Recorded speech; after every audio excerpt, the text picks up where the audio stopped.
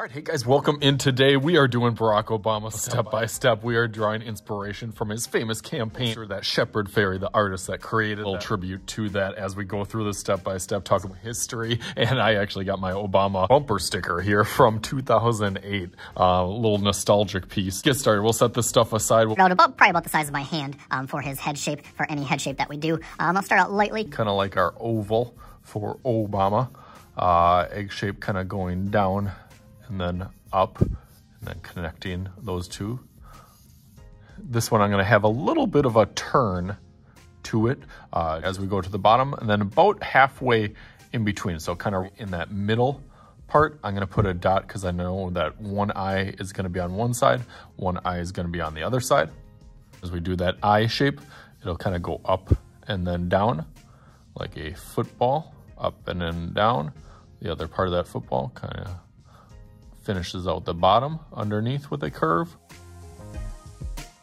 Go out to a point. Usually the top part of it goes a little bit longer to the side for the eyelashes and top is a little bit thicker also. And then in between, the nose will kind of come down. I want to get an idea there, not too dark, but then I want the outside of the nose, I always do like a parenthesis on one side and then a parenthesis on the other side. Usually kind of match up with the inside of the eye. Stretch that outside. And then his nostrils. That'll be a curve going up. And then probably about a pencil's width underneath that little space. Be kind of that center of the M shape. That goes out to one side and then out to the other side stops about at the middle of the eye. As I'm looking, he kind of looks kind of zombie-fied here because we haven't done his circles. I forgot to put his circle inside the eye. So go, go be going over a little bit darker, but as you kind of start to fill that in, you'll leave a little bit of a white or a highlight.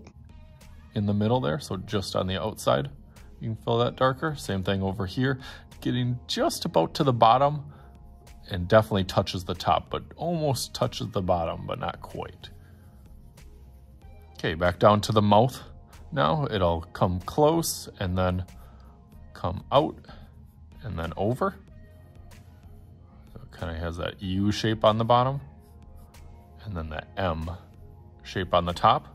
And it helps me frame in the chin a little bit as I kind of put the marks over here. He's got a pretty skinny head as he goes around here and then shape up where his hair would kind of start and then it angles down angles down over here to the side of his face and understanding, like I said, that it kind of comes in the middle. But that's not that, you know, his hair still goes a little bit. Even though his hair is a little bit shorter, it kind of rounds on the top and then kind of tapers on the sides, on each of the sides. Goes down a little bit smaller to kind of match that up. And then definitely one of his trademark features is his ears. His ears are kind of a little bit large like Mr. Schuette's and they kind of pop out a little bit and that kind of bumps out and then over. And that starts to make him look a little bit more like him. Okay, one of the last features, don't forget to put some eyebrows. That kind of, I always start in that kind of middle part of it, angled and then go up and down as I kind of bring that a little bit thicker on this side. Over there, same thing, a little thicker, and then thinner on the side. Starts to make it look a little bit more like him. Go over some of the details in that, just a, in between the lips. As I say, kind of stretch that out to the corners. Um, chin will go up and then back in, up, and in. It's kind of rounds and frames out the face. Like I said, that'll be there. So I'm just going over darker on some spots to kind of hit those little spots. Um, neck will protrude out from here, so it kind of follows that ear. And this one also kind of follows that face. And that, that really slopes into uh, his dress shirt, his button-up shirt that'll kind of have a collar going one way and the other way. This will turn into a like really skinny triangle going down this way and opposite the other way, a little bit thinner. looks like a bow tie now, but we want to put that front uh, section of the tie where it goes down, kind of over and across. That kind of fills in that area. And then this kind of part of the jacket goes this way, this goes the other way. And then his shoulders really go out to the side um, of each side. Actually, as the shirt goes over, kind of goes down a little bit over and then down. Kind of frames him a little bit thinner. Like I said, he's a pretty thin guy. You know, adding those little details with the ears and the hair and all the little bells and whistles on here as I put the hope um, for the words, but I'll outline that. And Sharpie, so let's go through that real quick.